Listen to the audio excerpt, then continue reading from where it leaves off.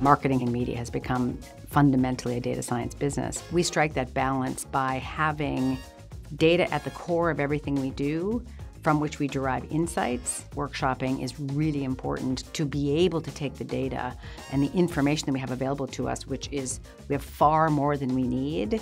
You have to know what part of that data, what are the insights, and what are the insights that are actionable.